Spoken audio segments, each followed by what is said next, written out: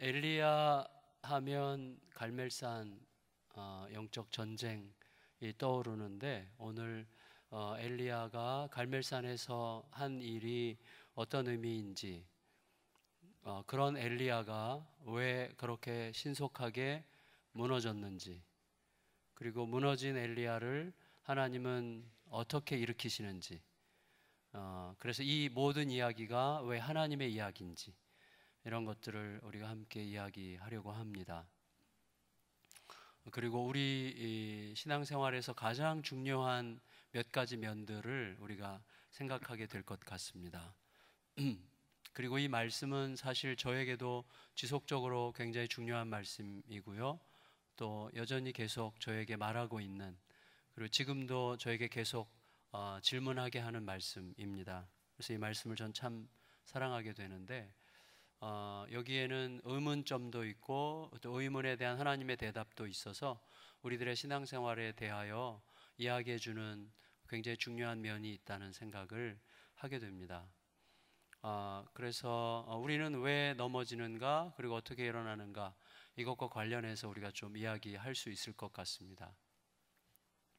어, 저는 개척할 때 제가 개척 하고 어, 첫 해에 1년 동안 어, 저를 참 아껴 주시는 장로님 한 분이 페인트 공이신데 어, 시골에 컨테이너 하나 놓고 어, 가족과 함께 이렇게 가난하게 사시는 장로님이세요. 어, 근데 제가 안산 동산교회 부교육자로 있을 때 아주 가깝게 지냈던 장로님인데 그 장로님이 제가 화성에 개척했다는 이야기를 듣고 그분 집도 화성인데 어, 멀리까지 차 타고 오셔서 계란을 이렇게 종종 갖다 주셨습니다. 근데 그 계란이 어 그냥 시장에서 파는 그런 계란이 아니고 이 장로님이 자기 집 앞마당에서 키우는 계란이었어요. 닭에서 나오는 계란이었어요. 열심히 먹었는데 어, 예쁘지 않았어요. 계란이 좀 울퉁불퉁하기도 하고 거시기한 게 이렇게 묻어 있기도 하고 그래서 좀 그랬지만 맛있게 1년을 먹고 나서 이 장로님께서 저에게 그 계란의 유래에 대해서 설명을 해주시고는 제가 많은 생각을 하게 됐습니다. 그 계란이 어떤 유래를 갖고 있는가 하면 이 장로님이 그 양계장에 가서 닭을 사와요. 사는데 어, 알을 더 이상 나, 낳을 수 없는 닭, 어, 폐닭이죠. 폐개 어, 아시죠? 알을 더 이상 못 낳아요. 이제 하도 다, 다 나가지고 더 이상 알을 낳을 수 없는 닭을 500원씩 주고 지금부터 10년 전이니까 500원씩 주고 사셔, 사셔요. 그러면 한 2만 원쯤 주고 한 40마리를 이렇게 사셨대요. 그리고는 어 이제 마당이 조그만 마당이 있는데 이렇게 그물을 쳐놓고 그물 안에 닭을 이렇게 넣어놓는 거예요. 한 40마리를. 그리고 이제 그 앞에 쪼그리고 앉아서 어 잘 이렇게 설득을 하는 거예요. 너네가 아, 알을 못 낳는구나. 자 이제 좀 알을 좀 낳아줘야 되겠다. 잘 설득을 하시, 하셔요. 그러고는 이제 곧바로 굶긴대요. 네, 곧바로 한 열흘에서 두 주일 가량을 굶긴대요. 그러면 얘네들 막 이제 배고파서 난리가 나는 거예요. 어, 근데 그 두 주 동안에 어떤 일이 생기는가 하면 몸에서 항생제가 쫙 빠진대요. 어, 그러면서 두 주쯤 지난 다음에는 이제 잔반을 이렇게 주고 어, 그리고 풀어놓으면 이제 뭐 반찬 남은 거, 밥 남은 거 엄청나게 먹고 그 다음에 땅 파서 벌레 잡아 먹고 막 난리가 나는 거예요. 닥치는 대로 먹으면서 한 달쯤 지나면 예, 체질 개선이 이제 이루어지면서 얘네가 이제 토종닭화가 되면서 알을 낳기 시작한대요. 그래서 어, 짧으면 한 8개월 가량 알을 낳고 좀 더 길면 1년 가량도 알을 낳기도 한대요. 저희 교회 양계장 하시는 집사님이 계셔서 어, 여쭤봤더니 맞대요. 그 가능하대요. 어, 왜안 하세요? 그랬더니 사료값이 안 나온대요. 그래서 이제 안 하는 건데 사실은 그리고 계란이 썩 예쁘진 않게 나와요. 그렇지만 맛은 맛은 뭐 변함이 없어요. 근데 제가 생각을 했어요. 곰곰이 이 장로님께서 이 계란을 나에게 준 이유를 나중에 이제 알게 된 거예요. 저는 개척할 때 어, 페인 같이 개척을 했거든요. 그러니까 이제 개척할 때 개척에 대한 영광과 기대가 있긴 했지만 개척 제가 개척하게 된 계기가 어, 그제 목회를 내려놓으려고 결정을 한 일이 있었어요. 우울증이 와가지고 어 그 이제 어제 잠깐 말씀드렸던 그 70년 된 교회에서 담임 목회를 하면서 어, 제 자신에 대한 갈등이 너무 심했어요. 그래서 내가 자격이 없다 이런 생각 때문에 너무 괴로워하면서 우울증에 걸렸어요. 그래서 우울증으로 어, 정신과 치료를 1년 동안 받았어요. 제가 이래봬도 어, 우울증 치료를 받은 그런 대단한 목사입니다. 어, 그러고는 이제 회복이 됐어요. 놀랍게 이제 이전보다 더 건강해지긴 했는데 요새 좀 골골하고 있는데 근데 어쨌거나 어, 그 계기를 통해서 저는 제가 어, 이제 저는 사실은 개척할 때 열 가정 제 아내랑 열 가정을 생각했어요. 그제 아내한테 제가 제안할 때 여보 우리 은퇴할 때까지 한 열명만 같이 우리 성도가 열명만 있어도 형제자매처럼 이렇게 지내고 예수님 이야기하면서 지내면 얼마나 행복할까? 그랬더니 아내가 아, 자기는 싫대요. 어, 그러면 교인이 얼만큼 돼야 돼? 그랬더니 아내가 열 가정은 돼야지. 그래서 열 명이 열 가정이 돼가지고 둘이 부둥켜 안고 막 울었어요. 그래 열 가정. 하나님께서 우리 은퇴할 때까지 열, 가, 열 가정만 보내주시면 우리 너무 행복할 것 같아. 이렇게 이제 그리고 그때 그게 전부였고 그리고 굉장히 행복했고 그리고 어 저는 뭐 이제 더 다른 목회는 상상도 못 했거든요. 근데 이 장로님께서 더 이상 알을 낳지 못하는 닭으로부터 알을 낳게 하는 방식으로 알을 낳게 해서 그 알을 제가 먹게 했잖아요. 그래서 아, 의미가 있는 거구나. 내가 더 이상 알을 낳지 못하는 닭처럼 스스로 느끼고 있었는데 내가 알을 낳지 못하는 영적인 열매를 또 목회의 어떤 고귀한 열매를 더 귀한 열매를 낳으려고 하는 어떤 의욕이나 이런 게 없고 또 열매를 낳을 수 없다고 생각하는 이유는 어, 내게 열매를 낳을 수 없는 조건이 있기 때문이 아니라 내 안에 열매를 맺지 못하게 하는 어떤 요소가 담겨 있기 때문이구나라는 것을 알게 됐어요. 왜냐하면 열매는 나의 능력과 어떤 나의 재능과 나의 실력으로 열매가 나오는 게 아니잖아요. 열매는 하나님의 것이잖아요. 하나님이 열매 맺으시는 거 맞죠? 근데 하나님은 살아계시죠. 하나님 오늘 나에게 말씀하시죠. 그분은 분명히 그분의 말씀대로 이루어 가실 거죠. 그러니까 저 내가 힘이 있건 없건 간에 내가 능력이 있건 간에 없, 어, 있거나 없건 간에 중요한 것은 내가 지금 살아계시고 나에게 말씀하시는 그분의 음성을 듣고 그 음성대로 대답하면 그게 곧 목회가 되는 거잖아요. 그거를 저에게 알게 하시기 위해서 이 장로님께서 그 계란을 저에게 갖다 주셨다는 사실을 나중에 깨닫고 너무너무 감사했어요. 그렇구나. 아, 나에게 참 의미를 주셨구나. 그래서 제가 그때부터 확실히 생각하게 됐어요. 우리는 열매를 맺을 수밖에 없는 사람들이에요. 안 믿으시네. 다시요. 우리들은 열매를 맺을 수밖에 없는 사람들입니다. 예수님이 살아계시고 예수님께서 내 안에 계시고 그 예수님께서 내 안에서 그분의 일을 하고 계시는데 왜 열매가 나타나지 않죠? 간단해요. 그분의 일을 안 하고 있으니까. 그분의 일을 안 하고 내 일을 하고 있으니까 그분의 열매가 안 나오는 거예요. 근데 여러분 하나님의 하나님이 하시는 수준에서의 열매와 내 수준에서의 열매는 비교가 되겠어요? 비교가 안 되죠. 저는 개척할 때요. 딱 하나만 생각해서 그래서 그 깨닫고 딱 하나만 하나님께 무조건 대답만 하겠습니다. 아무것도 없습니다. 저에게는 대답만 하겠습니다. 제가 워낙 잔머리 쪽이어서 더 이상 잔머리 굴리지 않겠습니다. 오직 대답만 하겠습니다. 그냥 대답만 한 거예요. 대답만. 근데 개척하고 1년이 됐는데 새 가족이 700명이 넘게 왔어요. 그래서 제가 야 이거는 이상한 일이다. 그래서 이제 어, 이렇게 교회를 나눠야 되겠다 이렇게 생각을 한 건데요. 어쨌거나 중요한 것은 이거예요. 우리가 열매를 맺지 못하는 이유는 간단합니다. 예수님께서 내 안에서 말씀하고 계시고 예수님은 내 안에서 당신의 일을 이루기, 이루어 가세요. 계속해서 이루어 가시는데 어, 우리 자녀와의 관계 속에서 열매, 사랑의 열매가 나타나고 우리 안에 갈라디아서에 있는 성령의 아홉 가지 열매, 인내, 사랑과 뭐죠? 성령 열매는 사랑, 희락, 화평, 인내, 자비, 양성, 충성, 온유, 절제. 이게 사실 하나의 열매잖아요. 단수예요. 성령의 열매는 단수 한 열매의 여러 가지 양상들이죠. 결국은 그리스도죠. 이 아홉 가지 열매가 이야기하는 대상은 그리스도거든요. 다 그리스도의 성품이에요. 그리스도. 그러니까 내, 내 안에 그 그리스도가 계시면 그런 열매들이 나타나고 그 열매들이 사람들과 생명의 관계 속에서 새로운 역사들을 이루어가는 거예요. 그래서 결국은 생각해 보세요. 우리가 테레사에 대해서 어떻게 생각해야 되는지 잘 모르겠고 저도 잘 판단하기는 싫은데 중요한 건 테레사라고 하는 한 평범한 한 자매가 인도의 그 빈민촌에서 오직 딱 하나 내 안에 있는 예수님의 사랑이 진짜라는 것만 믿고 그냥 사랑만 쏟는 결과 세계 전체에 어마어마한 영향을 끼치는 사랑의 선교회라는 엄청난 그리스도 중심의 단체가 만들어지게 된 거죠. 모르는 거예요. 하나밖에 안 한 거예요. 그냥 사랑 가지고 주님께 대답한 것밖에 없어요. 그게 역사를 이루어가는 거예요. 세상의 역사는 그거예요. 하나님은 흘러 넘치시는 사랑으로 세상이 어떻게 창조됐죠?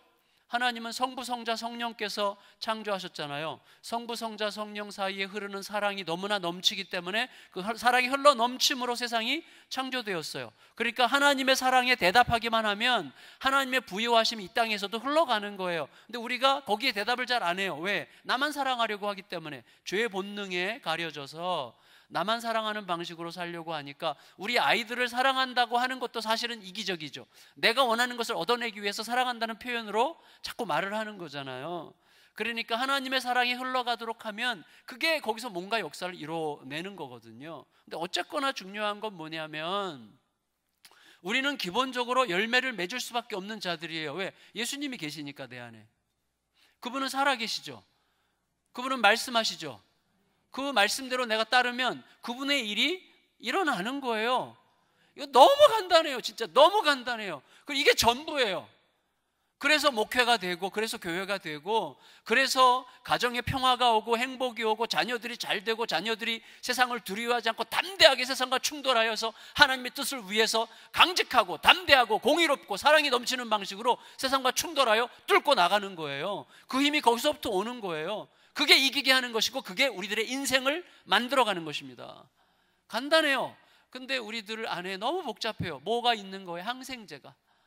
억지로 억지로 알을 낳게 하는 이 억지로 뭔가를 하려고 하는 이 항생제가 있어서 이게 다 빠져나가야 되는 거죠. 그래서 이런 예배 시간, 이런 이런 집회 시간들의 핵심은 뭐냐면 저는 내 안에 있는 항생제를 발견하고 그 항생제를 빼는 시간이라고 생각해요.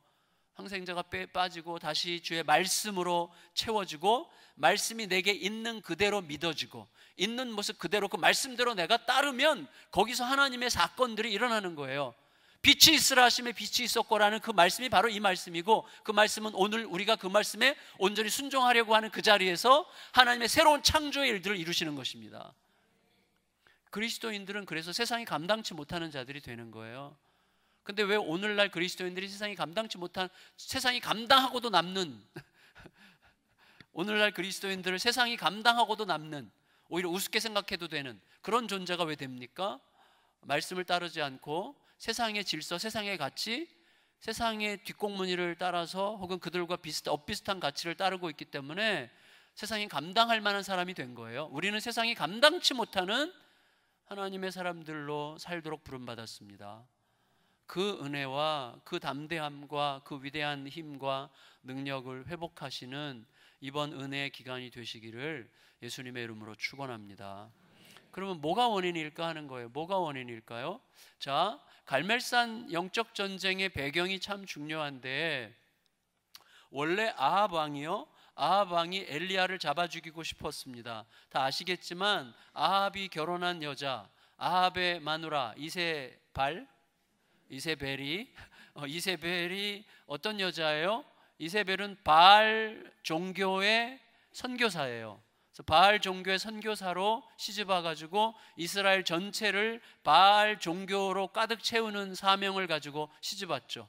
그래서 여호와의 선지자들을 전부 다 잡아 죽이고 쫓아내고 이스라엘 땅에는 여호와를 섬기는 여호와의 이름을 부르는 선지자가 발을 못 붙이게 만들었어요. 그리고 다 바알, 바알 선지자들, 아세라 선지자들, 이런 모든 우상 숭배자들, 선지자들을 국가에서 월급 줘 가지고 키우면서 수백 명이나 되는 선지자들을 양 선지자 양성 학교를 세워 가지고 그들을 키우면서 여호와의 선지자들은 전부 다 잡아, 잡아 죽이든지 아니면 쫓겨, 쫓아내든지 해 가지고 나라 전체가 바알 종교화가 됐는데 이 아합 부부의 마지막 답답함, 아, 이 인간 잡아 죽여야 되는데 이 인간만 우리가 죽이고 나면 이 나라 전체의 바알화의 과업이 완수될 텐데 그 인간 못 잡아요. 못 잡겠어요. 그 인간이 누구예요? 엘리야예요. 엘리야. 그런데 엘리야가 자기 발로 아하방을 찾아온 거예요. 엘리야가 자기 발로 아하방을 찾아와서 뭐라 그랬는가 하면 어, 우리가 갈멜산에서 영적 대결을 벌이자 이렇게 얘기한 거예요.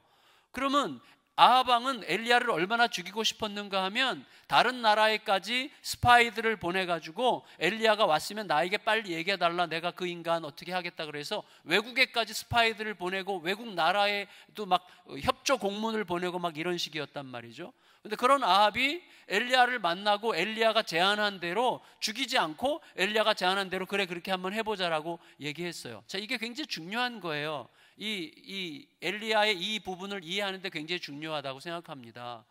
왜 엘리야를 그렇게 죽이고 싶어 했던 아합 왕이 엘리야가 자기 발로 나와 가지고 아합을 만났는데 죽이지 않고 엘리야가 하자는 대로 했을까요? 엘리야가 뭐 하자고 그랬습니까? 당신이 왕궁에서 어, 이렇게 먹이면서 키우는 선지자들, 바알 선지자들, 아사라 선지자들 전부 다 나오라고 그래라. 갈멜산에서 영적 전쟁을 벌이지. 나는 혼자 나 하나 나 하나밖에 지금 안 남았으니까 내가 나가겠다. 850대 1로 영적 대결을 벌이고 각자가 자기들의 신의 이름을 불러서 하늘로부터 응답하는 신이 우리 이스라엘 백성 전부가 섬겨야 될 신이라고 하는 사실을 객관적으로 입증받도록 하자라고 제안을 했어요. 그렇죠? 그때 아합 왕이 오케이 하자 이렇게 얘기했단 말이에요. 그렇게 죽이고 싶었던 엘리야인데 잡아 죽이면 되는데 안 죽이고 yes 하고 그렇게 하자고 따랐단 말이에요. 이유가 뭐겠어요? 네, 이유는 간단하죠. 이유는 어, 그 당시의 배경이 뭐 야고보서에 따르면 이때의 이스라엘 백성의 최대의 이스라엘의 최대의 문제가 뭡니까? 가뭄이죠. 가뭄. 비가 오지 않은 지 3년 6개월이나 될 때요 이때가. 비, 비가 오지 않은 지 3년 6개월째. 그래서 나중에 어, 열왕기상 17장을 보시면요 아합 왕이 물을 찾으러 다녀요. 왕이 물을 찾으러 다닐 정도로 가물었던 때입니다. 왕이 물 찾으러 다녀요 직접 그러니까 그렇게 혹독한 때인데 어, 그러면 어떻게 됩니까? 고대 사회에서 오랫동안 가뭄이 들면 백성들이 불편하다가 힘들다가 원망하다가 분노하다가 그 모든 분노가 누구에게 쏠립니까? 왕에게 쏠리죠. 그러니까 지금 아하방이 그걸 느끼고 있어요. 위기예요, 위기. 나라가 계속 어렵게 살고 못 살고 힘들어지고 막 경제가 어려우면 결국은 대통령 욕하게 되잖아요. 결국 그 당시에 가뭄이 너무너무 오랫동안 3년 6개월 가뭄은 거의 살인적이죠. 그러니까 백성들의 원성이 막 일어나고 왕에게 원망의 화살이 쏟아 부어지는 그런 분위기를 감지하고 있었기 때문에 아합 왕이 무릎을 친 거예요. 잘 됐다. 모든 백성들의 관심을 딴 데로 돌릴 수 있는 국가적인 이벤트를 만들 수 있게 된 거예요. 그래서 갈멜산에서 850대 1의 대결을 벌이고 거기에 모든 이스라엘 백성들을 초대했어요. 그래서 거기서 누가 이기든지 관계없어요. 누가 이기든지 덮어 씌우면 돼. 이 모든 재앙이 누구 때문이라고 덮어 씌우면 되는 거죠. 자기는 책임을 면할 수 있는 기회가 생겼기 때문에 엘리야가 갈멜산에서 영적 전, 전쟁 제안을 했을 때 넙죽 받은 거예요. 아하방이 그렇게 하자 그렇게 된 거죠. 근데 재밌는 게 있습니다. 뭐냐면 학자들에 따르면 이 갈멜산이 어, 바알 선지자들의 홈그라운드였대요. 바알 선 거기에 감, 갈멜산에 바알 산당이 그렇게 많았대요. 예. 근데 나중에 영적 대결을 벌이는 장소를 보면 바알 산에서도 여호와의 제단 앞에서 영적 대결을 벌여요. 근데 여호와의 제단이 하나가 있는데 그러니까 바알 갈멜산에 바알 산당이 꽉 차 있는데 거기에 여호와의 제단이 그나마 하나가 있는데 그것마저 무너져 있었어요. 그래서 무너진 여호와의 제단 앞에서 영적 대결을 벌이죠. 이거는 엘리야의 의도적인 설정이에요. 모든 이스라엘 백성들에게 시위하는 거죠. 봐라, 이게 이 나라의 영적인 현실이다. 온 세상이 바알 종교로 꽉 차 있고 여호와의 재단이 그나마 하나 있는데 이렇게 무너져 있구나. 그 니네들 똑똑히 봐. 누가 진짜 우리가 섬겨야 될 하나님인지 똑똑히 봐라. 이거를 모든 백성들 앞에서 명백하게 시위하기 위해서 지금 설정을 그렇게 한 거예요. 갈멜산에서. 자, 근데 이때 중요한 게 하나가 있습니다. 그게 뭐냐면 엘리야가 백성들에게 제안한 게 이거였어요. 하늘로부터 무엇을 내리는 신이 진짜 신이라고 우리가 인정하도록 하자라고 그랬을 때 그 무엇이 뭐죠? 하늘로부터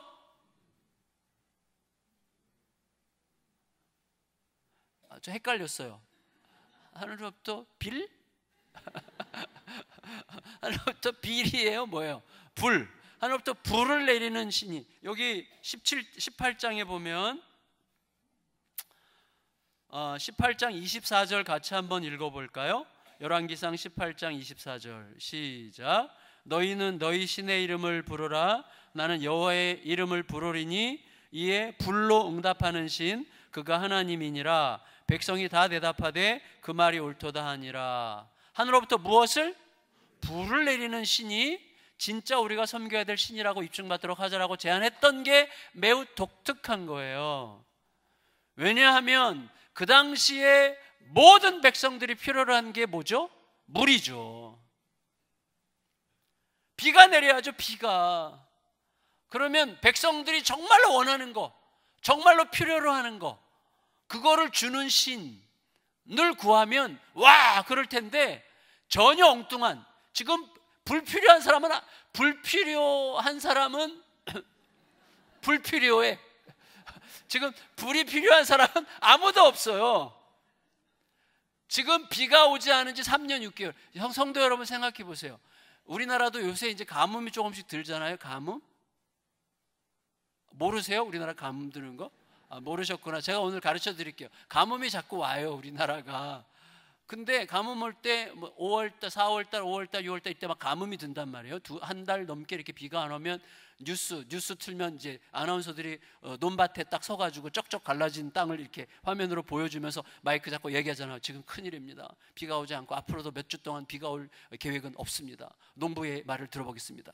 어 큰일 났어요. 큰일 났습니다. 여러분 어, 성원해 주시기 바랍니다. 뭐 이렇게 하잖아요. 그러면 우리가 그 뉴스를 보면서 소파에 딱 이렇게 앉아가지고 어, 이렇게 물 마시면서 그 뉴스 보잖아요.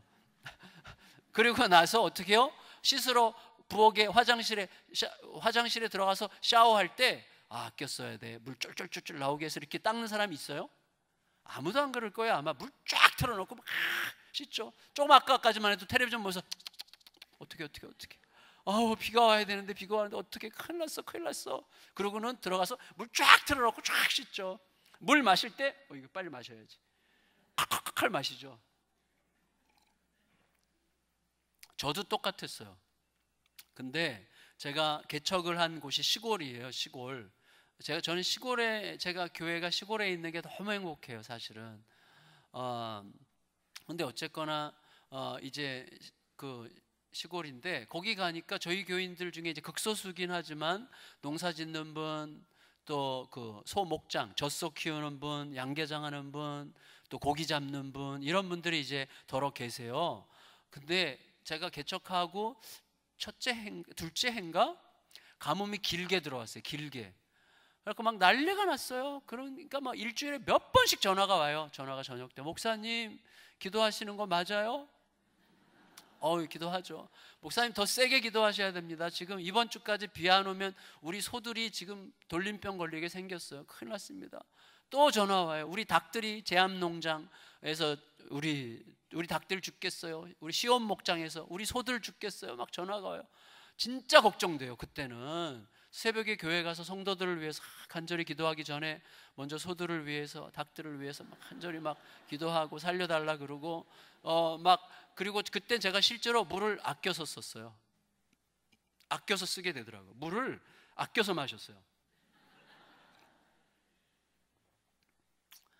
근데 대한민국에서 그 정도인데요. 한두 달 비 안 오면 심각해지는데 팔레스타인은 워낙에 비가 오지 않는 곳이잖아요. 거기에서 3년 6개월 동안 비가 오지 않았다는 건요. 살인적이죠. 진짜 그야말로 죽는 거예요. 그러니까 어떤 현상이 생기겠어요? 자, 그렇게 극단적인 고통 속에 사람들이 있으면 어, 어떤 현상이 생기겠습니까? 사람들이 모이면 대화의 주제는 정해져 있어요. 네, 오늘 저녁 때 밥 먹으면서 어떤 장로님의 대화를 시작해서 족보 이야기를 많이 했는데 쓸데없는. 근데 사실은 이뭐 사람, 들이 모이면 그런 3년 6개월 동안 비가 오지 않았다. 그럼 모였다 하면 무슨 얘기 하겠어요? 물 얘기밖에 할 거 없어요. 물 얘기. 우리 요새 주부들은 모였다 하면 애들 얘기밖에 할 게 없을지도 모르겠는데 뭐 모였다 하면 화장품 얘기하는지 모르겠는데 물 얘기밖에 할 게 없어요. 그럼 뭐예요? 물, 물 언제 마셔봤어? 물 찾았어? 아, 우리 애들이 지금 물 찾느라고 난리 난다. 큰일 났어. 이번 주에도 물 못 구하면 우리 애들 어떻게 될지 모르겠어. 언제 씻어봤어? 어, 나는 그래도 보름 전에는 씻었어. 너무 좋겠다. 나 지금 두 달째 못 씻었는데. 이렇게 하면서 이제 막 물내기밖에 없어요. 그러면 사람들 속에 어떤 정신이 형성이 되죠? 물만 있으면 뭘 더 바라랴. 그렇죠. 물만 있으면 뭘 더 바라겠어? 물만 있으면 더 이상 바랄 게 없겠다. 물만 있으면 난 진짜 더 이상 소원이 없겠다. 라고 하는 정신이 형성이 돼요. 그렇죠. 근데 그런 시대에 엘리야는 하늘로부터 물을 구하지 않고 불을 구했단 말이에요. 불은 뭐죠? 불? 불은 여기서 우리가 드리는 예배, 우리가 드리는 제사죠. 예배가 하나님께 받아들여졌다고 하는 것을 객관적으로 확인할 수 있는 증거죠. 그래서 불이 내린다는 건 뭐죠? 우리의 예배를 받으신다는 증거죠. 불이 임한다는 것은 우리와 하나님 사이에 막혔던 담이 허물어지고 통했다는 뜻이죠. 하나님께서 우리를 들으셨다는 뜻이죠. 하나님께서 우리에게 대답하신다는 뜻이죠. 우리의 필요를 아시고 그분이 대답하신다는 증거죠.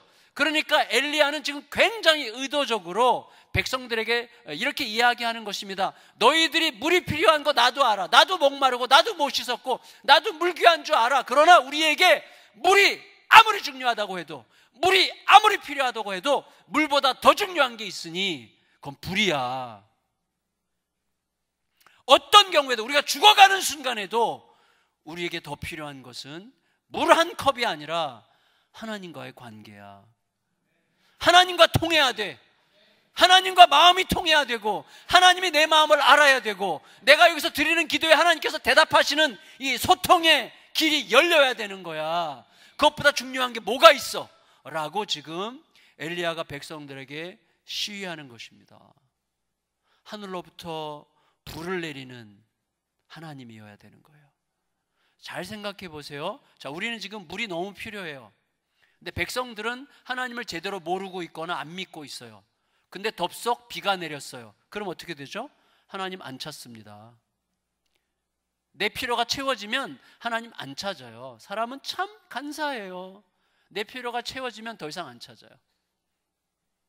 근데 하나님과 생명의 소통이 먼저 더 중요함을 알고 하나님과 생명의 소통으로 일어나서 일어나서 하나님 물이 없어도 됩니다. 내가 지금 목이 말라서 죽어도 괜찮습니다. 하나님이 나의 전부이시고 하나님과 생명의 소통이 나에게는 훨씬 중요합니다라는 사실을 진심으로 깨닫고 난 다음에 하늘로부터 큰 비가 내린다면 그 비는 축복이 되는 거예요. 왜? 틀림없이 하나님이 주신 게 분명하니까. 그러나 이 불을 경험하기 전에 하나님과의 생명의 소통을 경험하기 전에 물부터 구하면 우리는 말은 하나님이 주셨어라고 말하지만 사실은 그렇게 믿지 않아요. 하나님에 대해서 믿음이 사라집니다. 내 필요 먼저 채워지면 우리는 영적으로 굉장히 위험해지는 거예요. 그래서 우리가 꼭 기억해야 돼요. 뭐냐면 제가 어제 그 말씀 드렸는지 모르겠지만 그 말씀 드렸죠. 아브라함도 25년 기다렸어요, 아들을. 아브라함의 아들 이삭이 몇 년 기다렸다가 아들을 낳습니까? 20년 기다렸다 아들을 낳았어요.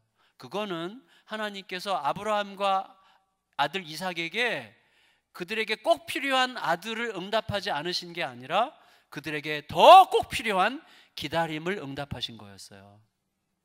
이걸 우리가 잊으면 안 됩니다. 하나님은 하나님은요, 25년 후에 아브라함이 100세나 되었을 때 아들을 주실 수 있는 하나님이시라면 75세 때는 왜 못 줍니까? 100세 때 주는 게 더 어렵죠. 100세 때 주실 수 있는 하나님은 75세 때도 주실 수 있는 하나님이세요.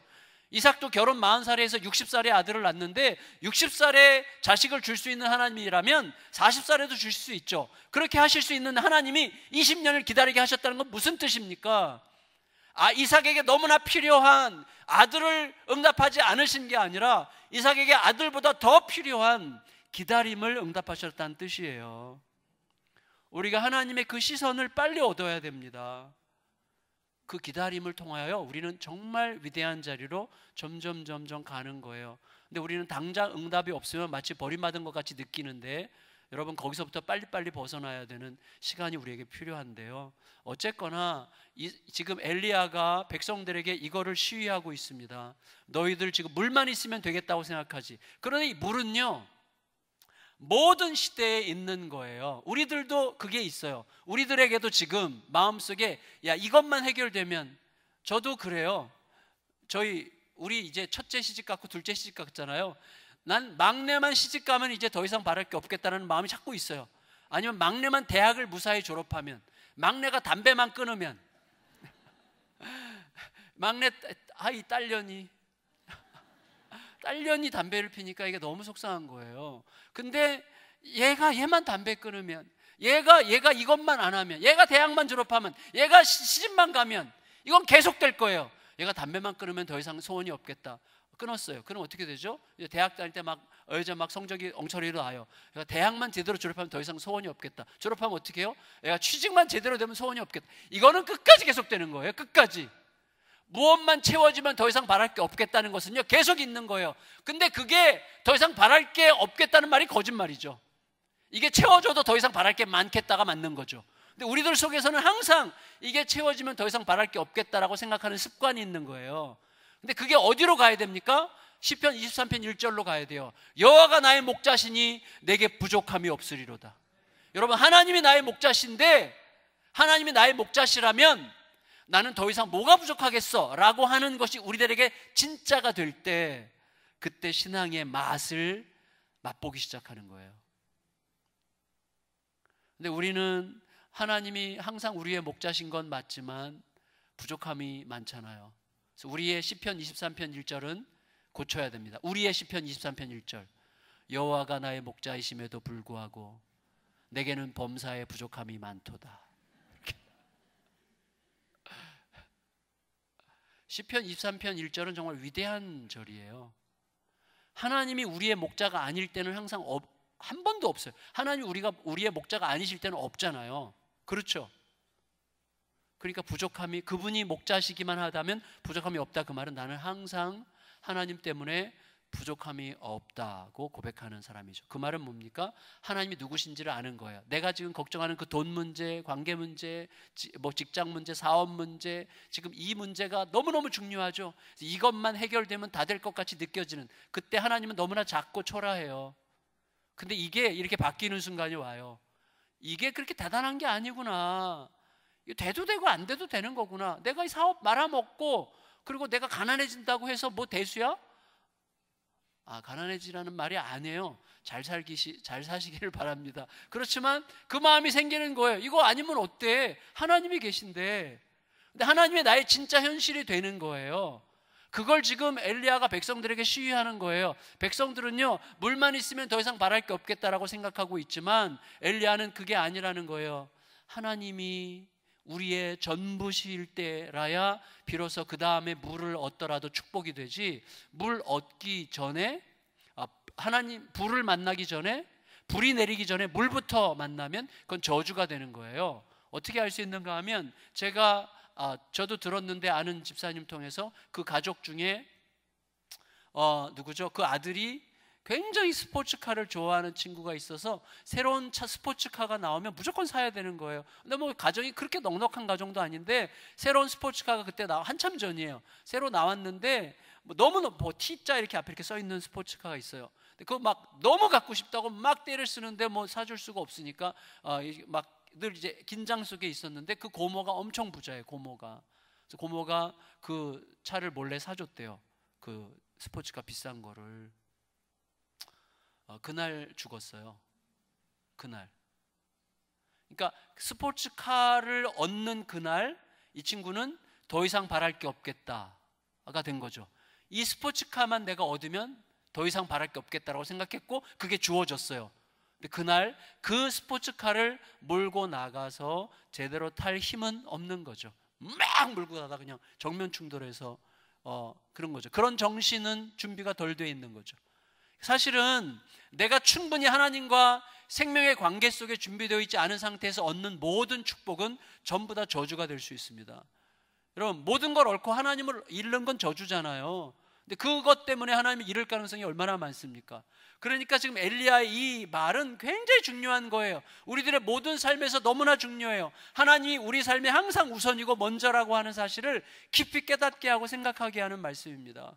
너무나 중요한 말씀이죠. 너무 저는 이게 진짜라는 것을 갈수록 실감하게 되는 것 같아. 이게 진짜구나.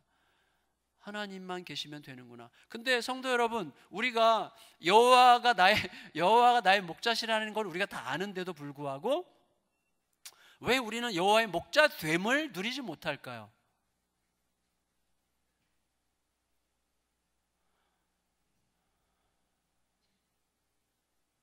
제가 지금 이 말을 해야 되나 말아야 되나 지금 살짝 고민했는데 어, 넘어갈게요. 궁금한 채로 계세요. 넘어가면 좋겠습니다. 자, 아 말을 해야 되겠네. 이거예요. 제가 이걸 고민을 했어요. 왜 나는 여호와가 나의 목자신 건 틀림없는데 왜 부족함을 계속 느낄까? 하는 것은 여호와가 나의 목자라는 게 무슨 뜻인지를 내가 충분히 몰라서라는 것을 알게 됐어요. 예를 들어 제가 32년 이제 결혼 32년이 됐는데 32년 동안 제 아내는 항상 제 아내였습니다. 그러니까 제 아내가 제 아내라고 하는 사실이 흐트러진 적은 한 번도 없어요. 제 아내는 항상 제 아내였어요. 그런데 제 아내가 어떤 때는 저를 충만하게 하고 제 아내가 어떤 때는 저를 지옥에 빠뜨려요. 그렇죠. 제가 어느 우리 목회자 모임에서 그랬어요. 누군가가 지옥에 대해서 어떻게 설명할 수 있어요? 그래서 제가 그랬어요. 아내랑 싸우면 지옥이야. 그랬더니 어 그거 막 굉장히 감동받더라고 별것도 아닌데 근데 보세요. 아내는 항상 아내인데 어떤 때는 나를 충만하게 하고 어떤 때는 지옥처럼 느끼게 해요. 그래서 아내가 아침에 일어났을 때 막 저를 격려해주고, 아, 그 다음에 밥 먹으라고 이렇게 보글보글 끓이고, 그 다음에 저랑 대화하고, 서로 격려하고, 아이 얘기하면서 사실 서로 기도하고, 또 이제 어떤 기쁨에 찬 어떤 것을 서로 논의하고 계획하고 이렇게 할 때 막 충만하죠. 그래서 이 여자랑 내가 함께 있는 것으로 너무나 충분한 더, 더 이상 뭐 필요한 게 없는 이 여자랑만 함께 있으면 정말 더 이상 내가 뭐가 부족하랴 그렇게 느끼는 순간이 가끔은 있잖아요. 가끔은. 근데 그게 이제 항상 있, 으면 좋겠는데 이제 그게 요새 이제 갈수록 더 지속이 돼요. 30년쯤 넘으니까 이제는 어, 아내가 너무 좋은 것이야. 아내를 너무 좋아해서 지금 문제인데. 근데 어느 날 아내가 이렇게 반찬 그릇 놓을 때 소리가 나면 안 되잖아요. 반찬 그릇을 소리 나게 놓을 때가 있잖아요. 막 이렇게 이렇게 이런 식으로 반찬 그릇을 그때는 뭔가 문제가 있는 거잖아요. 그때 제가 아내한테 아, 뭐야 당신 이렇게 말하면 2주짜리 지옥이에요.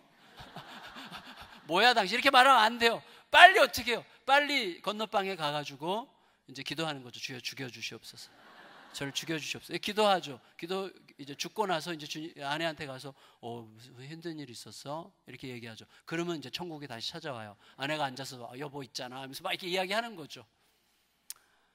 그래서 제가 느끼게 된 게 있어요. 제가 아내의 아내됨을 누리는 길은 내가 남편의 남편됨이 확실할 때요. 아내가 남편에게 기대하는 남편됨은요 들어주는 거예요. 들어주고 어유 그랬어? 남편들은요, 어우, 그랬어? 이 말 하는 게 너무 힘들어요. 남편들은. 왜 그랬어, 그때? 이렇게 했으면 될 걸. 이렇게 답을 주고 싶어요, 남자들. 항상 그렇잖아요. 그러니까 남자들은요, 허벅지가 좀 시꺼매야 됩니다. 허벅지를 꼬집으면서, 이를 갈면서, 그랬어? 이렇게 들어야 돼요. 그래서 제가 알게 됐어요. 제가 남편 됨을 지킬 때 아내의 아내됨을 누리더라고요. 여호와가 나의 목자시라고 하는 사실이 내 안에서 여호와가 나의 목자라는 사실이 뭔지를 이해하는 사람은 하나밖에 할 게 없어요. 뭐죠? 목자를 절대 떠나지 않아요. 목자가 누군지를 아는 사람은 진짜로 목자가 누군지를 제대로 아는 사람은 하나만 알면 돼요. 절대로 떠나지 않으면 돼요. 목자의 발등꿈치만 쫓아가면 되는 거예요. 그래서 제 삶의 목표가 그래서 대답만 하자요 항상 듣고 대답하자. 항상 주님께 귀 기울이고 대답하자. 그게 전부다라는 사실을 알게 됐고 지금도 이제 그 길을 가려고 몸부림을 하고 있는 건데 뭐 몸부림한다고 고생하는 거야 너무너무 행복한 길을 걷는 거죠. 어쨌거나 자 지금 엘리야가 이스라엘 백성들에게 하는 게 그거예요. 하나님이 전부이실 때 물도 의미가 있는 것이지 물이 너희에게 전부가 되면 하나님이 아무것도 아닌 게 되면 너희는 물 마시고 끝이야. 물 마시고 계속 저주야. 하나님으로, 하나님으로 충분해야 물도 의미가 있는 거지. 그 순서를 바꿔주고 있는 거예요. 우리들은요, 우리들 모두에게 물이 있어요, 물. 이것만 되면 더 이상 바랄 게 없겠다. 이것만 되면 좋겠다. 아니라 이것 없어도 하나님으로 충분합니다라는 상태 속에 내가 들어가게 해달라고 하나님의 아름다우심과 크심과 그가 행하신 일의 놀라우심과 그 놀라우심이 이미 나의 현실이 됐다고 하는 것이 나에게 실제가 되게 해달라는 기도가 우리에게 너무나 중요합니다. 그래서 바알 선지자들이요 하루 종일 바알 신에게 막 난리를 쳤지만 아무 일도 일어나지 않았잖아요. 저녁 무렵이 돼서 엘리야의 시간이 왔어요. 해질 때 시간이 얼마 남지도 않았어요. 그때 엘리야가 제일 먼저 한 게 뭐죠? 여호와의 무너진 재단을 다시 쌓는 거예요. 여호와의 무너진 재단을 다시 쌓는데 돌 몇 개를 갖다 쌓죠?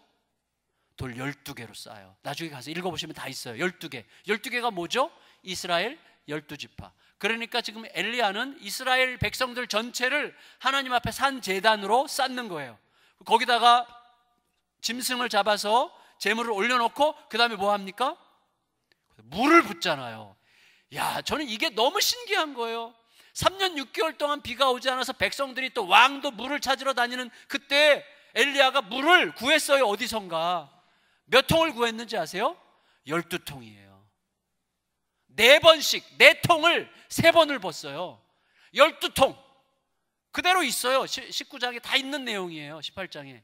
그러니까 여러분, 다시 말하면 이스라엘 백성들 전체를 산 제물로 하나님 앞에 드리고 마치 물처럼 쏟아붓는 거 열두 통을 그러면서 이렇게 얘기하는 셈이죠. 너희들 이 물만 있으면 더 이상 바랄 게 없겠다라고 생각했지.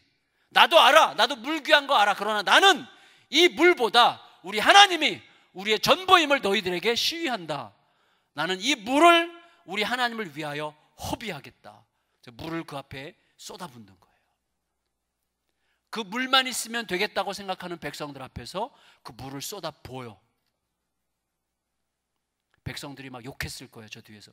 우리 애가 지금 저 물 한 모금만 있으면 사는데 저거를 어떻게 저기다가 쏟아 부어? 막 속으로 막 어, 제가 욕을 못 하겠지만 하여튼 욕을 막 했을 거예요, 사방에서. 엘리야는 거기다 쏟아 부었습니다. 그리고 어떻게 됐어요? 하늘에서부터 불이 내렸어요. 불이. 하나님께서 들으셨어요. 하나님께서 대답하셨어요. 하나님께서 하늘과 땅 사이에 막힌 담을 허무시고 하늘과 땅이 통하게 하셨어요. 불이 내려와 그다음에 그 모든 물까지 핥아 버리셨어요. 물이 국물도 안 남았어요. 하나님께서 완전히 싹, 싹 쓸어 가셨어요. 근데 바로 그때 하늘에서부터 큰 비가 내렸어요. 그때 우리는 이 순서로 가야 됩니다. 이 순서. 너희는 먼저 그의 나라와 그의 의를 구하라. 딱 그 말씀이에요. 그리하면 이 모든 것을 너에게 더하시리라. 성도 여러분, 하나님 예수님께서 이 말씀하신 맥락이 뭐예요? 먹을 거 걱정하지 마, 입을 거 걱정하지 마 그런 거죠. 어, 누가 먹을 거 걱정하냐, 입을 거 걱정하냐 그런 거 걱정하지 마. 이 말은 먹을 거와 입을 게 하찮아서 그런 말씀하신 게 아니에요. 먹을 게 얼마나 중요합니까? 입을 게 얼마나 중요합니까? 오늘도 뭐, 입, 뭐 입고 가지? 이거 신경 많이 쓰셨잖아요. 오늘 저녁에 뭐 먹지? 신경 쓰잖아요. 쓸 수밖에 없어요. 우리는 그리고 뭐 먹을까가 중요한 게 아니라 뭐예요? 먹을 게 있냐 없냐가 중요한 시대에 먹는 거는 얼마나 중요합니까? 생명인데 중요해요. 예수님께서 먹을 거 걱정하지 마, 입을 거 걱정하면 그 말은 야 그런 거는 걱정 대상이 아니야. 그렇게 천박하게 먹을 거, 입을 거 그딴식 걱정하지 마. 이 말이 아닙니다. 예수님의 그 말씀, 예수님 말씀은 이거죠. 먹을 거, 입을 거 걱정하는 사람들은 고아 아니니 고아? 너희는 고아가 아니잖아. 먹을 거, 입을 거는 너희가 걱정할 게 아니라 내가 걱정해야지. 너희는 고아가 아니다. 내가 너희의 부모가 돼줄게. 그 말이에요. 그냥 걱정할 필요 없다는 거예요. 먹을 거 입을 거 너희가 걱정하지 마. 내가 걱정해 줄 테니까. 걱정하지 마. 이렇게 말씀하신 거예요. 실제로 예수님이 우리들의 의식주가 되지 않으셨습니까? 예수님이 우리의 의식주죠. 예수님이 우리에게 그리스도로 옷 입으라. 바울이 얘기했죠. 그리스도로 옷 입으라. 그리스도가 우리의 옷이에요. 내 살을 먹고 내 피를 마시라. 예수님이 우리의 음식이에요. 나의 안에 거하라. 예수님이 우리의 집이에요. 이게 추상적인 의미가 아니라 실제로 예수님으로 예수님과 사귐을 통하여 예수님께 말씀하신 내 나에게는 너희가 모르는 양식이 있느니라. 그건 진짜예요. 예수님이 먹여 주세요. 그분이 우리의 양식이 되어 주세요. 그러니까 예수님의 그 말씀은 내가 너의 전부가 돼 줄게 그 말이죠. 내가 너의 전부가 돼 줄게. 너는 나랑 사랑하자. 너는 내 아들이 돼. 너는 내 딸이 되면 돼. 그 말씀이에요. 그래서 우리는 먼저 부를 구하는 자, 하나님의 나라를 구하는 자, 하나님을 사랑하는 자, 그 사랑으로 배부른 자. 무언가 앞으로 더 많이 채워져야만 비로소 만족할 것 같은 삶이 아니라 오늘 우리는 이미 하나님으로부터 모든 걸 충만히 받은 자로서 오늘 우리 살고 있는 자라는 사실을 새롭게 인식하시기를 예수님의 이름으로 축원합니다.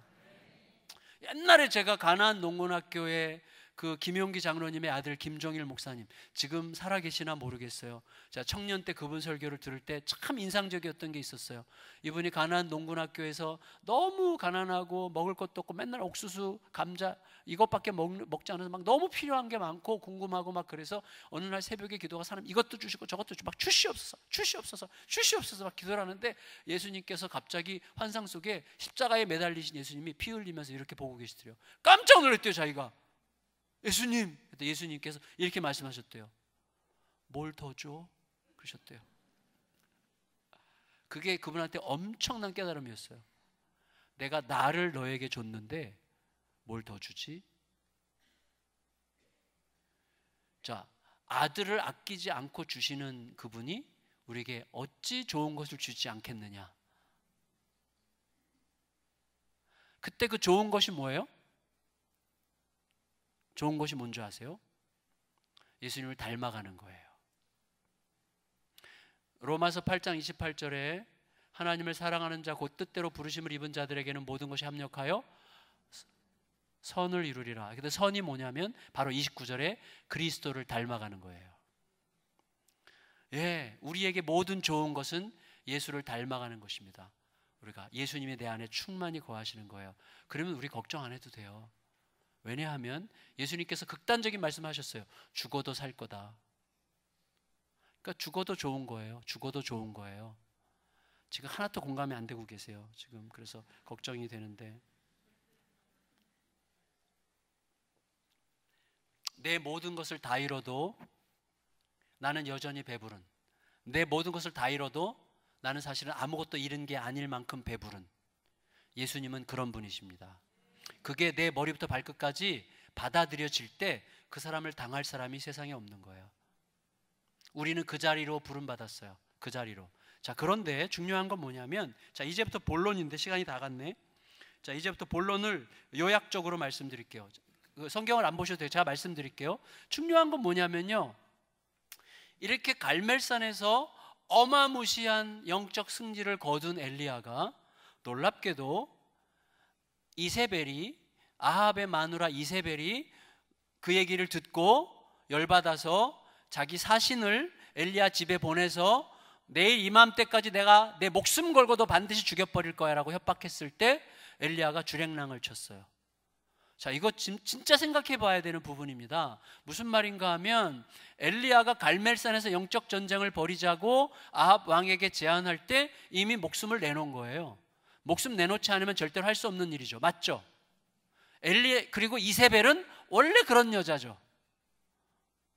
예, 이세벨은 원래 그런 여자예요. 원래 그렇게 싸가지 없게 말하는 여자예요. 내일 이맘때까지 내가 너 반드시 죽일 거야 이렇게 얘기했단 말이에요. 근데 원래 그런 여자가 할 법한 말을 한 거고 엘리야는 처음부터 목숨 내놓고 했는데 놀랍게도 그 말 듣고 도망쳤단 말이에요. 이해가 안 가는 거예요. 근데 우리 모두가 똑같이 저도 제 자신에게 그걸 느꼈는데 우리 모두가 똑같이 아무리 갈멜산에서 위대한 영적 승리를 거둔 후라고 할지라도 뭔가가 딱 걸려 있으면 이런 일을 만나게 됩니다. 말도 안 되는 패배자가 돼요. 어떻게 말도 안 되게 이세벨이 좀 협박했다고 주랭랑을 친단 말이죠. 결론을 제가 먼저 말씀드리면 이거예요. 잘 들으세요. 결론이 뭐냐면 사람은요. 사람은 하나님의 뜻이 이루어지지 않았기 때문에 실망하는 게 아니고요. 하나님의 뜻이라고 생각하는 내 뜻이 이루어지지 않았을 때 실망하는 겁니다. 잘 생각해야 돼요. 자, 교회에서 무슨 일을 해요? 내가 막 이걸 주장했어요. 근데 주장 이거 이렇게 해야 됩니다. 이게 하나님의 뜻입니다. 막, 막 주장했는데 그게 거절됐어요. 그게 안 되게 됐어요. 그럴 때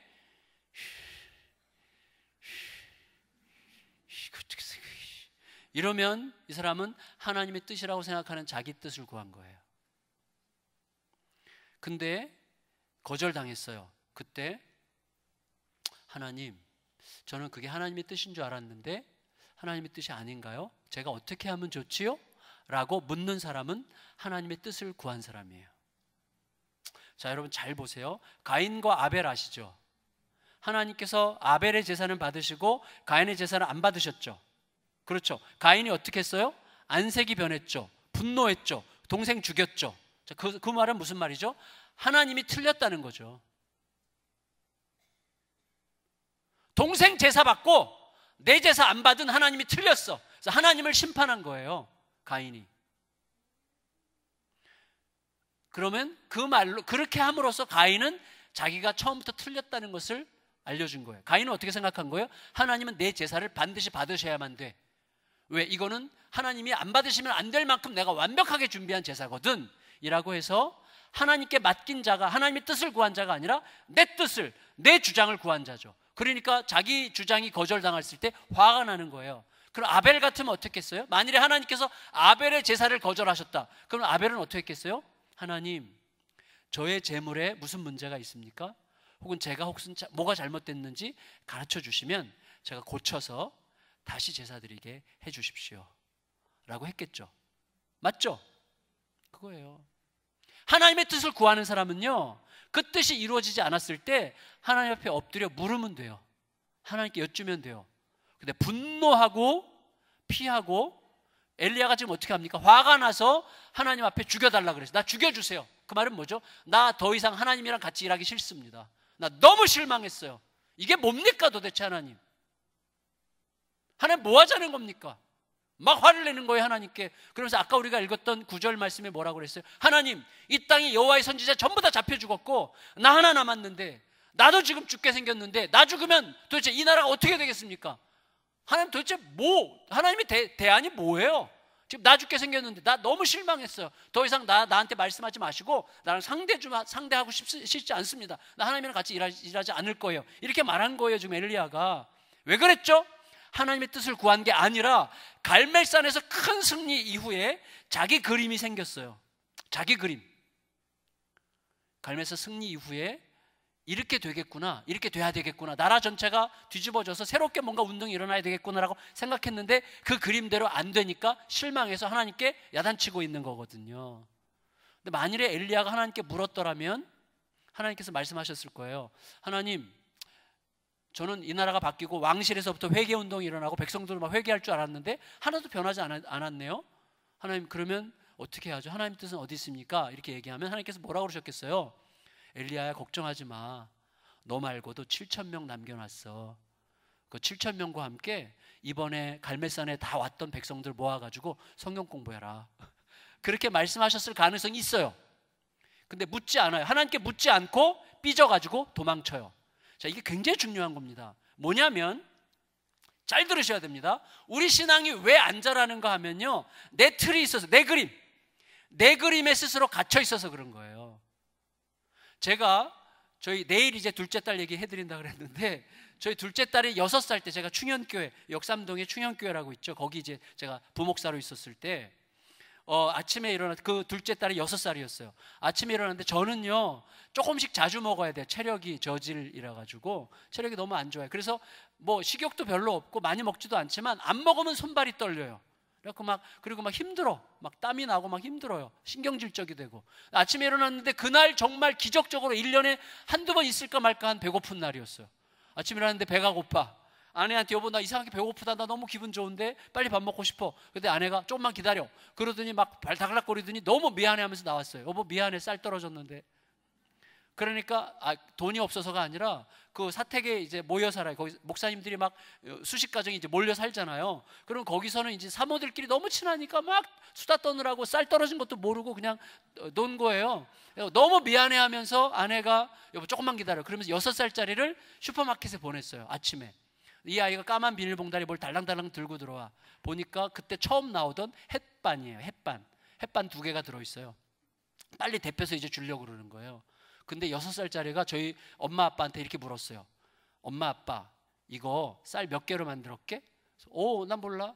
자기는 안 돼요. 몇 개? 2천 개로 만들었어. 이거 2천 개. 그래? 줘봐. 자세히 보면 써 있어요, 여러분. 예. 네. 2천 쌀밥 이렇게 써 있어요. 2천 쌀밥. 2천 쌀밥. 제가 그때 깨달았어요. 자, 여러분 여섯 살짜리 머릿속에는 경기도 이천이라는 컨셉이 없어요. 경기도 이천이라는 게 없어요. 숫자 이천만 있어. 그러니까 뭐요? 이천 쌀밥이라는 단어를 보는 순간 완벽하게 해석되는 거예요. 이천 개의 쌀로 만든 밥, 이천 쌀밥. 어느 정도로 확신하는가 하면 엄마 아빠를 야단쳐. 이것도 몰랐어? 이렇게. 근데 이게 어린 애들만의 문제겠습니까? 똑같아요, 우리들도요. 여러분 우리가 경험했으면 얼마나 많이 했겠어요. 우리가 공부했으면 얼마나 많이 했겠어요. 성경 공부를 얼마나 많이 했겠어요. 근데 내가 그동안 공부해 왔고 내가 경험한 아주 작은 경험의 틀 가지고 모든 걸 보려고 해요. 그거랑 안 맞으면 전부 다 틀렸다고 재단하는 거예요. 내 틀. 내 그림이 형성되면요. 큰일 납니다. 우리는 틀을 가질 수밖에 없지만 신앙생활은 뭐냐면 날마다 내 틀을 깨고 하나님의 그림 안으로 들어가는 게 신앙생활이에요. 하나님의 가슴으로 뛰어들어야 돼요. 그러려면 내 틀에서 날마다 벗어날 준비가 되어 있어야 돼요.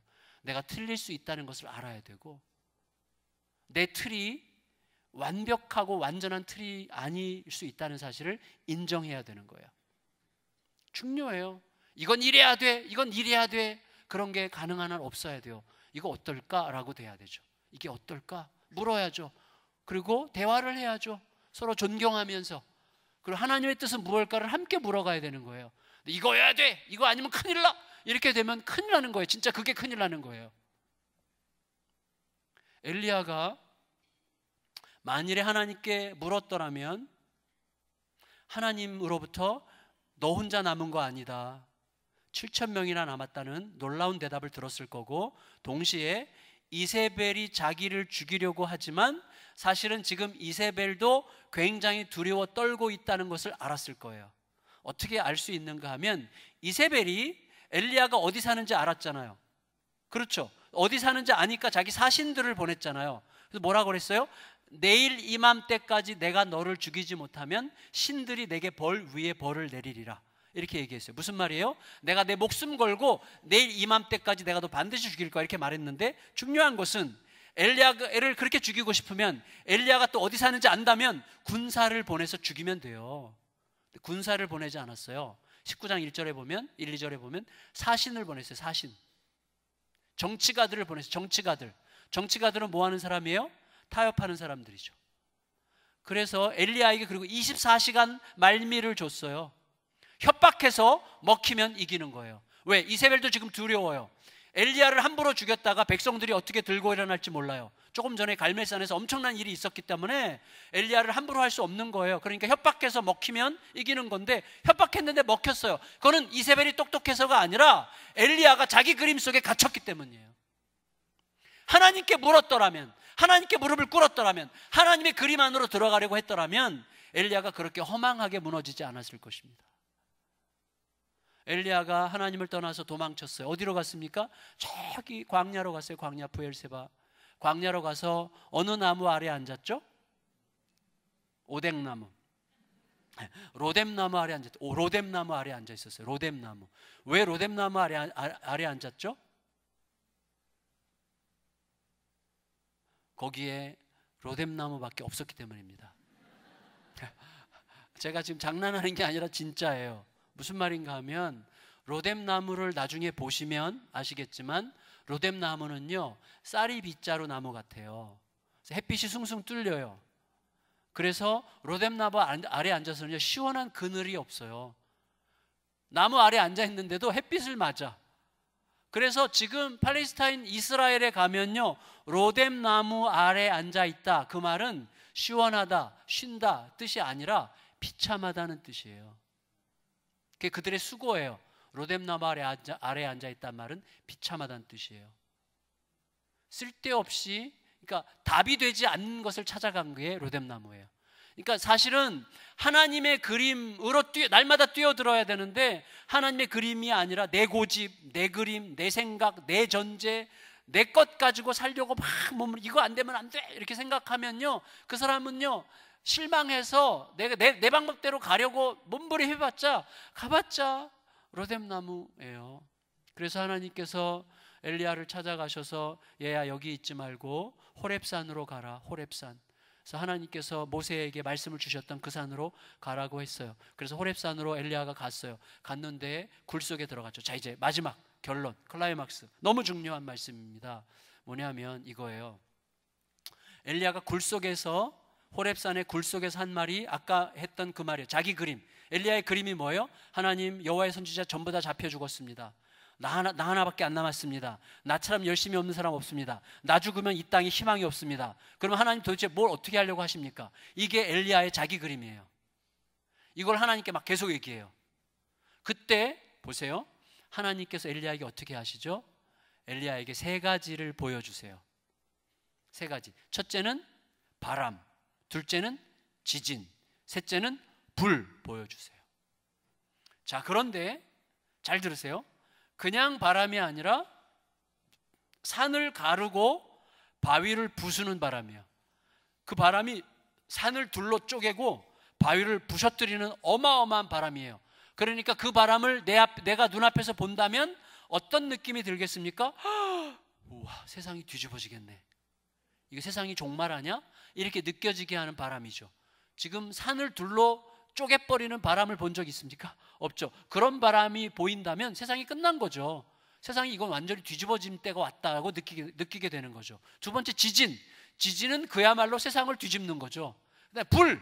얼마 전에 갈멜산에서 세상을 뒤집을 것 같이 하늘로부터 내렸던 그 불. 세 가지를 보여주셨어요. 근데 중요한 건 뭐죠? 여호와께서 거기 계시지 않았더라. 그렇게 되어 있잖아. 바람 가운데도 계시지 않았고, 불 가운데도 계시지 않았고, 지진 가운데도 계시지 않았어요. 이게 중요해요. 이건 무슨 말인가 하면 이거죠. 엘리야야, 이게 너 그림이었어. 이거 너 그림이지? 너 이런 대단한, 막 엄청난, 이, 이런 어마어마한 바람 같은 역사가 일어나면, 이런 대지진 같은 역사가 일어나면, 막 이런 엄청난 사건이 일어나면 세상이 발칵 뒤집어질 줄 알았지. 근데 내가 거기 없잖아. 나는 어떻게 일하는지 보여줄게 하면서 그 다음에 뭐가 임했어요? 세미한 소리가 임했어요. 세미한 소리. 이게 너무 중요해요. 세미한 소리. 세미한 소리가 임했을 때 엘리야가 어떻게 했습니까? 엘리야가 겉옷으로 얼굴을 가렸습니다. 그 무슨 뜻이죠? 여호와께서 거기 계셨다는 뜻이죠. 하나님의 임재 앞에 두려워 얼굴을 가린 거예요. 겉옷으로. 하나님은 어디에 임하셨어요? 어마어마한 바람, 어마어마한 지진, 어마어마한 불 가운데 임하시지 않고 어디에? 세미한 소리. 하나님께서 엘리야와 함께 이루어 가시려고 하는 역사는 무엇과 함께? 세미한 소리와 함께입니다. 자, 이걸 이제 잘 우리가 나눠야 되는데 잘 이게 너무 중요해요. 어, 이 세미한 소리는 원래는 이거예요. 너무 조용해서 안, 거의 안 들리는 소리예요. 근데 소리긴 소리예요. 너무 조용해서 거의 안 들리는 소리를 세미한 소리라고. 직역하면 잠자고 있는 바람의 소리인데 너무 조용해. 그러니까 이건 무슨 뜻인가 하면 내 영혼이 결코 들을 수 없는 소리예요. 언제만 들을 수 있어요? 극도로 고요할 때만 들을 수 있어요. 내 영혼이 극도로 고요할 때만 들을 수 있는 소리 가운데 하나님은 함께 하세요. 근데 우리의 영혼은 항상 시끄럽습니다. 왜 시끄러운 줄 아세요? 저는 이거를 진짜 직접적으로 경험했는데 제가 1999년도에 너무 힘든 문제가 있어서 하나님께 오랜 시간 기도했는데 응답이 없었어요. 제 마음속에 이렇게 됐으면 좋겠다라고 하는 생각이 있었는데 그 응답이 안 돼서 계속 하나님 언제까지 기다려야 됩니까? 언제까지 기다려야 됩니까? 이게 더, 저의 날마다 기도했는데 응답이 없어가지고 기도원에 올라가서 저녁 때부터 새벽 4시까지 밤을 꼴딱 새우면서 기도를 했는데 하늘이 꽉 막힌 느낌이었어요. 새벽 4시에 제가 막 떼굴떼굴 굴렀어요. 너무너무 힘들어가지고. 제가 사실 충영교회를 떠나고 싶은 마음에 너무 힘들었어요. 막 너무 하여튼 고통스러운 시간들이 시간이었는데 하여튼 응답이 없었어요. 사표를 늘 쓰고 다녔는데 근데 하나님께서 드디어 제가 새벽 4시에 막 떼굴떼굴 그러면서 막 악을 쓰면서 쥐 언제까지입니까? 내가 언제까지 있어야 됩니까? 언제 내가 떠납니까? 주여 말씀해 주옵 막 기도하는데 응답이 온 거예요. 응답이 시끄럽구나. 그래서 제가 어떻게 기도했냐면요. 하나님, 하나님은 당신의 백성의 기도를 시끄럽다고 들으십니까? 막 기도하는데요. 갑자기 빌립보서 4장 6절이 딱 떠올랐어요. 아무것도 염려하지 말고 오직 모든 일에 기도와 간구로 너희 구할 것을 감사함으로 아뢰라. 잘 들으세요. 염려는 뭐예요? 시끄러운 겁니다. 염려는 시끄러운 거예요. 왜냐하면 내가 내 자신과 계속 대화하는 거예요. 어떤 방식으로? 부정적인 방식으로. 아, 이거 이렇게 돼야 되는데. 이거 안 되면 어떡하지? 내가 올해는 그꼭 그만둬야 되는데 이거 내가 올해까지 그만두란 말 안 하면 하나님께서 말씀 안 하십니다. 이제 난 죽는데 이거 어떻게 해야 되는 거지? 이번에 우리 아이가 이렇게 꼭 돼야 되는데 어떻게 이게 내 자신과 계속 대화하는 거예요. 어떤 방식으로? 부정적인 방식으로 계속 대화해. 그러니까 시끄러운 거예요. 염려는 쥐약이에요. 그래서 우리 염려할 수밖에 없는 자들이지만 염려할 수밖에 없는 자들이기 때문에 하나님께서 염려하지 말라고 하시는 거죠. 우리가 염려할 수밖에 없다는 사실을 아시기 때문에 염려하지 말라고 하시는 거죠. 그러니까 염려할 수밖에 없다는 것 사실을 아시는 거죠. 그렇지만 그 염려에 매이지 말라고 말씀하시는 것이죠. 염려를 내려놔야 되는 거예요. 그게 뭐죠? 사도 바울의 기도예요. 나는 날마다 죽노라. 성도 여러분, 왜 염려하죠? 전제가 있기 때문에 전제. 이렇게 돼야 되는데 이렇게 안 되면 큰일 나는데 이렇게 안 되면 어떻게 하지? 라는 내 전제가 있기 때문에 염려하게 되는 거고 염려는 시끄러운 거고 시끄러우니까 주님의 세미한 소리를 절대 못 듣는 거예요. 이게 너무너무 중요합니다. 그래서 저희 우리의 삶은 전제 없는 삶이에요. 전제 없는 삶이 뭐죠? 우리가 늘 찬송 부르잖아요. 주님의 뜻을 이루소서. 내 주여 뜻대로 행하시옵소서. 아버지여 내 원대로 마시고 아버지의 뜻대로 하옵소서. 사도 바울은 그거를 나는 날마다 죽노라 이렇게 얘기한 거예요. 내 계획은 없습니다. 소원은 있어도 계획은 없습니다. 그러나 하나님 내 소원대로 이루 소원은 뭐죠? 하나님의 뜻이면 이루어지기를 원합니다. 뜻이 아니라면 아무 상관없습니다. 주님 오직 주의 뜻을 이루어 주시옵소서. 그게 소원이에요. 근데 우리는 염려해요. 왜 염려하죠? 이렇게 안 되면 큰일 날 것 같이 생각하니까. 그렇게 안 돼도 되거든요. 근데 우리는 그렇게 안 되면 큰일 날 것 같아요. 우리 아이가 대학 못 가면 큰일 납니까? 천만의 말씀.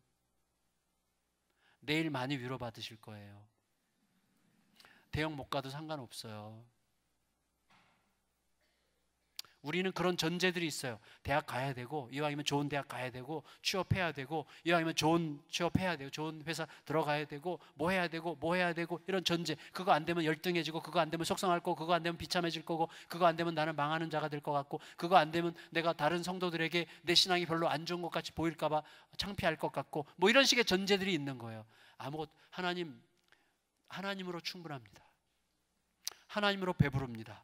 그 자리로 가야 되는 거예요. 그때 우리가 들을 수 있어요. 하나님의 세미한 소리를 그때 들을 수가 있어요. 제가 하나님께서 기도해서 하나님 감사합니다. 깨닫게 해주셔서 감사합니다. 주님 다 내려놓겠습니다. 하나님께서 뭐라고 하시든 듣겠습니다. 뭐, 뭐든지 말씀하옵소서 주여 순종하겠습니다. 이렇게, 이렇게 온 거예요.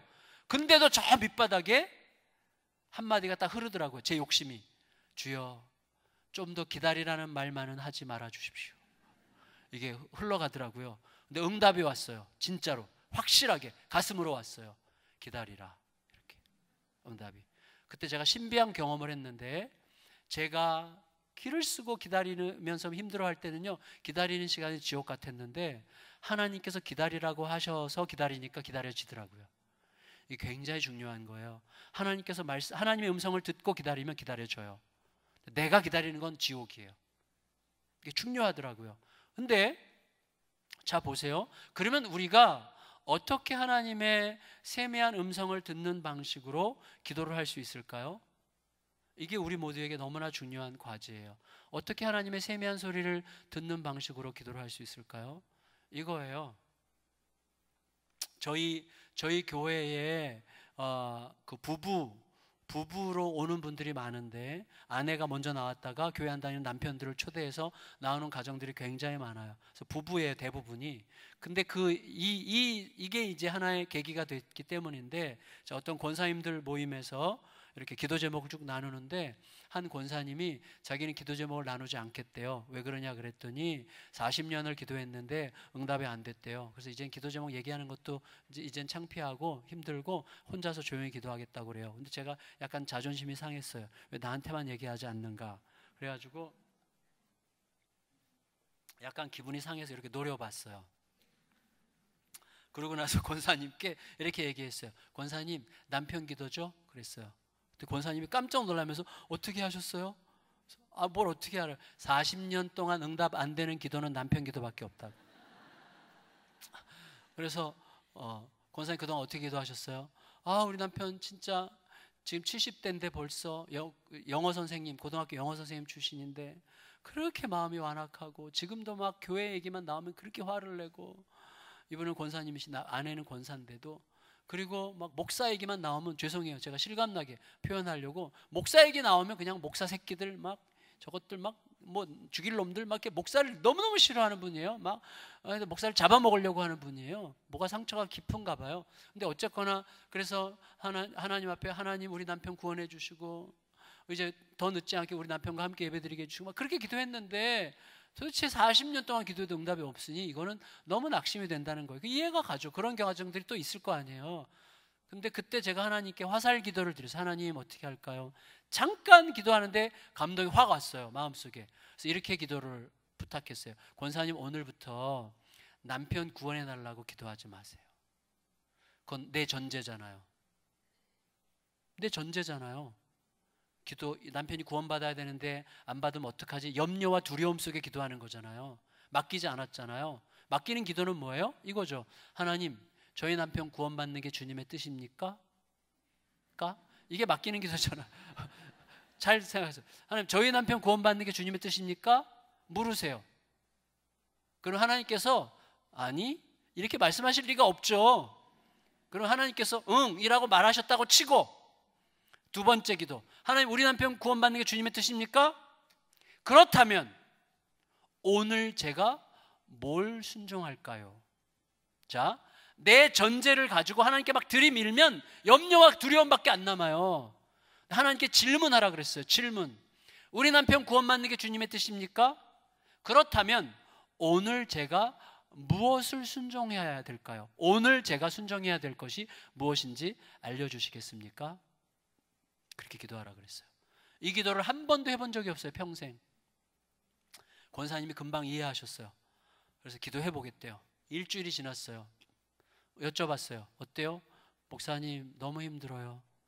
이런 기도, 이런 기도 진짜 한 번도 안 해봤는데 너무 힘들어요. 하늘이 깜깜해요. 한번 좀 더 기도해 봅시다. 두 주 지났어요.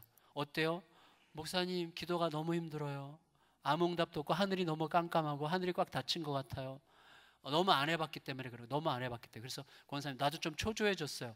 하나님, 하나님께서 뭔가 감동을 마음에 뭔가라도 감동 주시면 저한테 얘기해 주세요. 근데 그 다음 주 수요일, 3주차 때 수요일 날 권사님이 목사님 향해 막 뛰어오셨어요. 예. 오늘 새벽에 드디어 하나님께서 저에게 감동을 주셨어요. 어떤 감동이요? 정갑신 목사님 모시고 우리 남편 같이 만나라고 하셨어요. 아, 제가 순교의 날이 왔어요.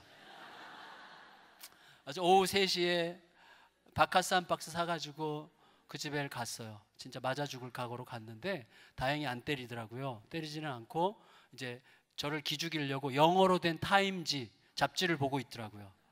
그래서 제가 이제 거실에 잠깐 기도하고 이분을 모시고 거실에 앉아서 잠깐만 얘기하자고 온 김에 그리고 이제 이분이랑 대화의 접촉점을 찾으려고 어, 이제 저희 아버지 실패한 이야기 어, 저희 집이 아버지 실패로 힘들었던 이야기 막 이런 거 하면서 어, 이제 어떻게 해서 조금씩 믿음으로 일어나게 되는지 막 간증을 30분 동안 막 했는데 이분은 딱 눈을 감고 이렇게 앉아서 되시다. 그만합시다. 그만합시다. 그냥 이제 제가 좀 30분 가량 얘기할 때쯤 되니까 더 말했다가는 맞을 것 같아요 진짜로. 그래서 어, 이분한테 할 수 없이 제가 잠깐 묵, 도하고 나서 이렇게 말씀드렸어요 김 선생 김영수 선생님인데 김 선생님 제가 왔으니 기도하고 가도 될까요? 그랬더니 이분이 맘대로 하시오. 그러더라고요. 그 순간 저에게 강력한 은혜가 온 거예요. 오 하나님, 이분이 저에게 맘대로 하라고 했습니다. 맘대로 하겠습니다. 그래가지고요, 제가 손을 딱 잡고 어깨 동무를 했어요. 그런 용기가 생기더라고요, 용기가. 주님이 그, 그 용기를 주세요. 딱 어깨 동무하고 정말 간절히 기도했어요. 정말 간절히.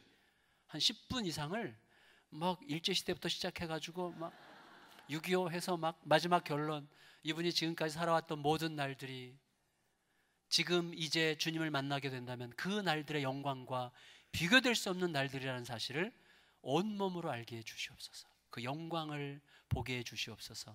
예수님의 이름으로 기도합니다. 아멘. 했어요. 기도를 같이 한 것만 해도 얼마나 대단한 일이에요. 자, 기도 끝나고 김 선생님 제가 좀 앞으로 몇 번 더 와도 될까요? 그때 이분이 마음대로 하슈. 그러더라고요. 그래서 그날 대화를 듣긴 들은 거예요, 이분이. 그래서 네 번을 더 가고 그해 새생명 초청잔치 가을에 오신 거예요. 여러분, 그게 계기가 돼서요. 저희 교회는 이제 남편 안 믿는 사람들은요, 남편 안 믿는 사람들끼리 모여서 기도하면서 오늘 뭘 순종할까요? 이게 기도예요. 오늘 뭘 순종할까요? 남편에게 하나님께서 명령하신 대로 순종하는 거예요. 하나님께 순종 남편에게 순종하는 건 억울하잖아요. 그죠? 하나님께 순종하는 거예요. 그거는 남편에게 순종하는 게 아니야. 하나님께 순종하는 거예요. 그러니까 하다 보면 남편이 조금 조금씩 마음이 열려서 교회 태워다 주다가 한번 들어와 봤다가 이렇게 하기도 하고 저희는 또 주말에 제가 1박 2일로 어디 가라 그래요. 아, 교회 안 다니는 남편들 데리고 교회 믿는 사람들이랑 같이 이렇게 목장 구역에서 데리고 1박 2일 여행을 가라 그래요. 그럼 제, 제 설교 원고를 줘요. 거기 가서 예배를 드려요. 저녁 때, 토요일 저녁 때 고기 구워 먹고, 그리고 주일 오전에는 같이 예배 드리는데 제 설교 원고 읽고, 그래서 헌금해서 주일날 아, 그 다음 주에 갖다 바치고, 그리고 이제 그걸 출석으로 쳐주고, 이렇게 할 때 그렇게 몇 번 하다 보면 이 사람이 점점 점점 들어와요. 근데 어쨌거나 굉장히 다양한 지혜들이 있어요. 어떻게 할 때 주님, 우리 남편 구원받는 게 주님의 뜻입니까? 오늘 뭘 순종해야 될까요? 이거는요 꼭 남편 기도가 아니라 우리들 삶의 모든 면에서 그래요. 하나님 우리 딸이 하나님 앞에서 변화되는 게 주님의 뜻입니까? 당연하지. 우리 딸이 주님 앞에서 변화되는 게 당연한 주님의 뜻이죠. 그럼 오늘 제가 뭘 순종할까요? 이게 저희 둘째 딸을 바꾼 거예요. 내일 말씀 나누도록 하겠습니다. 기도하겠습니다. 우리 같이 기도할 때 오늘 첫째 물이냐 불이냐 하나님 나는 아직도 물을 구하고 있습니까?